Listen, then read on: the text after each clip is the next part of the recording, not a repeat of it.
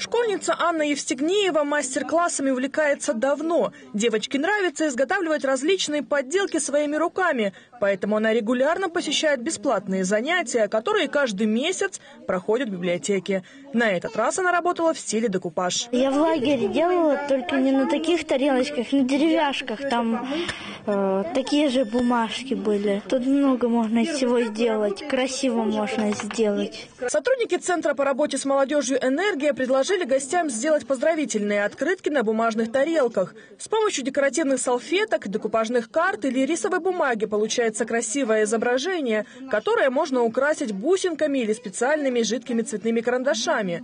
Сверху работы покрываются лаком. Это индивидуальная работа, она не повторяется. Даже вот дети берут одни и те же фрагменты, но работы получаются совершенно все разные.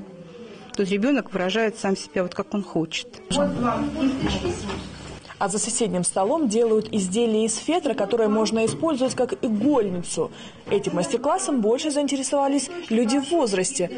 У меня дома нет игольницы, и очень хочу такой красоты сделать своими руками, чтобы ценить ее, любить и беречь, а не то, что купишь и выбросишь, забудешь про нее. Следующий мастер-класс пройдет в июле. О том, какому виду творчества он будет посвящен, и о точной дате можно узнать на сайте учреждения сообщения или в его социальных сетях. Юлия Погосян, Владимир Бежонов, Ольга Садовская, Видное ТВ.